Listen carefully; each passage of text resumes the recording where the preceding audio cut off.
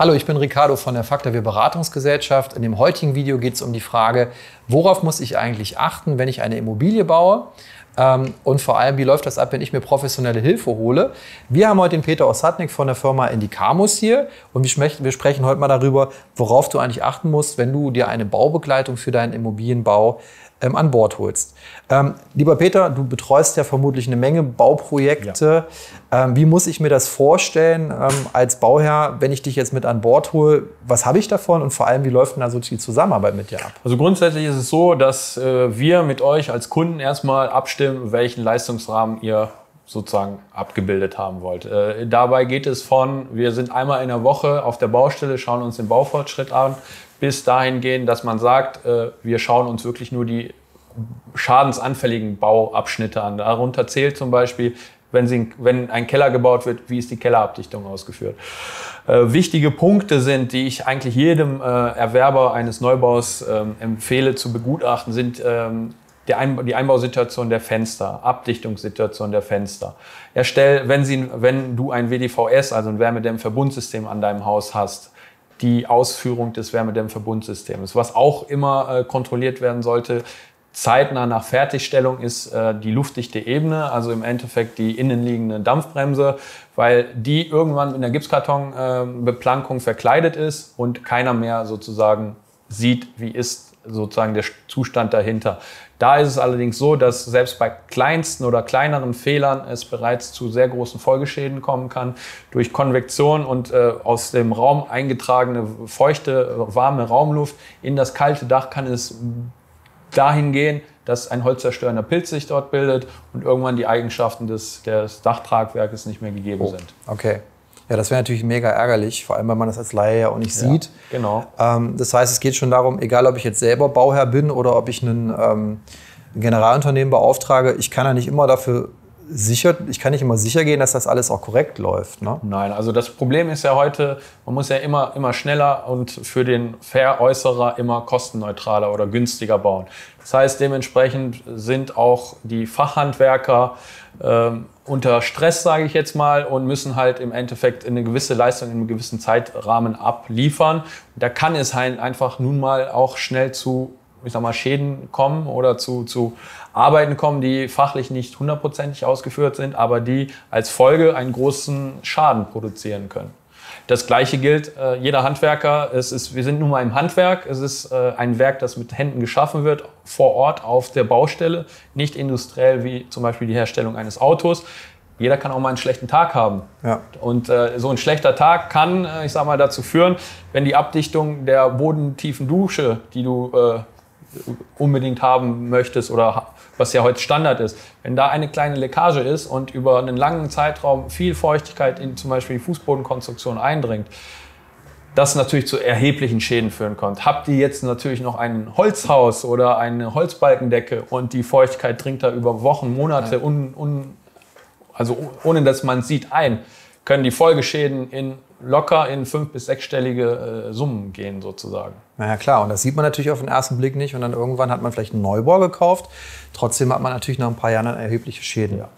Und ähm, wie reagieren also die Bauträger drauf, wenn du dann da vorbeikommst? Also in der Regel ist es ja so, dass äh, die Bauträger immer hundertprozentige Leistungen äh, abliefern, laut ihrer Aussage. Ja. Ähm, aber das ist meine Erfahrung. Ähm, es gibt die und die Bauträger. Manche Bauträger sind sehr, sehr ähm, freuen sich sogar das, äh, darüber, dass nochmal ein externer Dritter, neutraler, vor allem neutraler, äh, sich die Maßen oder die Baufortschritte äh, anschaut, weil die natürlich auch ein Interesse haben, ihren Kunden glücklich zu machen. Es gibt aber auch die anderen Bauträger, die andere Seite, die halt sagen, ah, was willst du denn mit dem? Wir machen das schon immer so, wir arbeiten seit 50 Jahren auf dem Markt, wir haben gar keine Probleme und das ist doch nur rausgeschmissenes Geld, was, was, mhm. was du da jetzt äh, machst. Und da ist es halt immer, immer schwer, beziehungsweise die sträuben sich dann auch äh, relativ häufig dagegen, was ich dann feststelle, am Ende auch umzusetzen. Obwohl es eigentlich aus regeltechnischen Hintergründen eindeutig ist, sagen die einfach, wir machen das doch immer so. Warum soll ich es jetzt bei dir anders machen? Ah, okay. Aber ähm, wäre es dann so, dass man dann als Kunde darauf beharren sollte oder hast du da eine gewisse Toleranz, wo du sagst, na okay, das kann man jetzt schon so machen? Also grundsätzlich ne? Äh, kann ich da halt nur sagen, ja, es gibt grundsätzlich Sonderlösungen, die können funktionieren. Man muss aber wirklich dann auch schauen, wie ist diese Sonderlösung ausgeführt. Und man muss euch, man muss, ihr müsst euch immer vorstellen, eine Sonderlösung ist immer eine Abweichung vom äh, Zustand, wie es eigentlich nach den entsprechenden Regelwerken äh, ist. Diese Regelwerke sind ja in, hier in Deutschland extra oder explizit dafür da, dass man aufbauend auf sehr vielen Erfahrungen, die man über Jahre gesammelt hat, ein, ein, ein Bauteil herstellt, dass man, wo, wo man davon ausgehen kann, das funktioniert auch. Ja. Bei Sonderlösungen ist es dann häufig so, da hat halt der äh, Generalunternehmer, der Handwerker, hat für sich die persönliche Erfahrung gemacht, ja, okay, es reicht, wenn ich die Abdichtung 1 cm nach oben äh, hochführe, aber die Regelwerke sagen 15 cm. Kann gut gehen, kann aber auch äh, sehr schnell in die Hose gehen. Ja. Und äh, wenn, wenn du als Kunde dann äh, vom Handwerker dahingehend soweit äh, beraten wurdest und ihm das freigibst, dann hast du, ich sag mal, das Problem am Ende. In der Regel ist es allerdings so, diese Sonderlösungen werden ohne äh, Wissen vom Auftraggeber, also von euch als Häuslebauer, durchgeführt und dann ist es halt als Mangel zu deklarieren, weil es ist eine Abweichung vom Soll-Zustand zum Ist-Zustand. Okay, ja, interessant, spannend. Ähm, sehr wichtig. Wie ist das, wenn ich, wenn ich jetzt mit dir arbeiten möchte? Was kostet mich so eine Dienstleistung?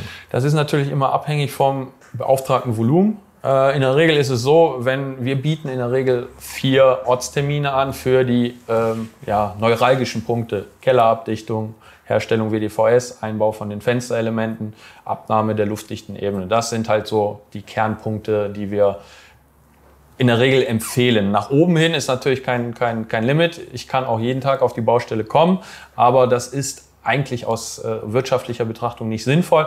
Es ist so, wir stimmen mit euch im konkreten Fall ab, wo macht es Sinn, äh, hinzu, zu, hinzugezogen werden. Häufig äh, sagen wir auch einfach so dem Kunden, wir bieten euch jetzt erstmal die vier Termine an, wo wir wissen, die müssen abgenommen werden. Und wenn ihr irgendwo Bauchschmerzen habt, ruft uns an, wir sprechen über das, wo du, sag ich mal, äh, ein Fragezeichen äh, hinterstehen hast. Und dann entscheiden wir spontan oder äh, objektspezifisch beziehungsweise von der Problematik her, macht es Sinn, dass ich da nochmal hinzukomme. Wir machen auch viel digital, das heißt, ihr könnt uns dann auch Fotos schicken. Ich schaue mir das erstmal auf dem Foto an und wenn ich am Foto schon feststelle, ui, das ist nicht so ganz koscher, was da ist, dann kann ich euch immer nur empfehlen, holt uns nochmal hinzu aber wie gesagt, äh, ich kann euch nicht zwingen und äh, es ist halt nur immer eine Empfehlung. Gut, also von, von, von dem Kostenrahmen, äh, wie ich eben ja schon gesagt habe, ist natürlich immer abhängig vom beauftragten Volumen. Aber ihr könnt in der Regel damit rechnen, wenn wir die vier Ortstermine anbieten, seid ihr zwischen 1500 und 2000 Euro dabei. Ähm, es ist natürlich dann auch wieder abhängig, wenn ich Mängel in nicht unerheblicher Zahl feststelle, muss ich natürlich diese Mängel auch irgendwo zu Papier bringen und dementsprechend würden da natürlich noch, noch Folgekosten generieren oder entstehen, die man aber im Vorfeld eigentlich nicht abschätzen kann. Aber wie gesagt, grundsätzlich ist es so, die Kosten für diese vier Ortstermine belaufen sich auf um die 2000 Euro. Hast du denn konkret ein Beispiel, wo du so eine Prüfung gemacht hast und wo du dann festgestellt hast, dass dann der Bauträger im Nachgang was anpassen musste? Ja, da ist es häufig so, gerade äh, bei der Abnahme der luftdichten Ebene ist es äh, so, dass ich eigentlich in ich sag mal, 90 Prozent der Fälle irgendwo äh, Leckagen, Fehlstellen an der luftdichten Ebene feststelle, die, obwohl sie recht klein sind, zu großen Folgeschäden führen kann, können. Da ist halt die Problematik, die luftdichte Ebene wird relativ schnell vom Bauträger, vom Handwerker mit der Gipskartonbeplankung verkleidet, sodass man darauf halt keine Ein keinen Einblick mehr hat beim dann notwendigen anschließenden Blower-Door-Test, der bei Neubauten ähm, gefordert wird äh, in der Regel, ähm, fällt dieser Mangel dann nicht auf. Aber spätestens, wenn, äh, sage ich mal, irgendwo eine Steckdose in die Gipskartonbeplankung eingebracht wird und die nicht luftdicht ist, kann es durchaus dazu äh, führen, dass warme, feuchte Raumluft in die Dachkonstruktion eindringt, dort abkühlt und dazu führt, dass die Dämmung durchfeuchtet, die, die, Hol die Holzkonstruktion irgendwann eventuell äh, von holzerstellenden Pilzen befallen wird und das natürlich zu erheblichen Schäden führen kann. Ja, das ist aber total wichtig, finde ich, weil gerade dann, wenn man halt noch mal eine dritte oder zweite, dritte Meinung bekommt, ähm, geht man ja auf Nummer sicher. Ne? Gerade wenn man halt dann so eine Immobilie fast fertigstellt und macht wirklich komplett alles zu, legt den Boden, äh, verputzt die Wände, man kann ja, wie du schon gesagt hast, auch nicht später, also zumindest nicht ohne Aufwand, mal eben substanziell schauen, ob alles äh, Nein, korrekt definitiv, ist. definitiv nicht. Und deshalb macht es ja auch schon Sinn, während dieser Bauphase dann euch einzuspannen. Ja, ähm, ja prima. Vielen Dank für die kurzen Ausführungen Führungen dazu. Ähm, wenn ihr konkret euren Bau plant und wenn ihr Fragen habt oder auch mit dem Peter zusammenarbeiten wollt und seiner Firma, dann ähm, kontaktiert uns oder auch gerne den Peter. Wir werden die Kontaktdaten unten äh, nochmal in dem Video verlinken.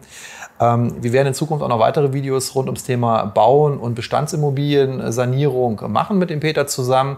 Vielen Dank, dass du hier gewesen bist. Gerne, äh, danke dass du für die uns, Einladung. Gerne und dass du kurz uns Einblicke gegeben hast. Ja, und ähm, euch alles Gute und viel Erfolg bei eurem Bauprojekt.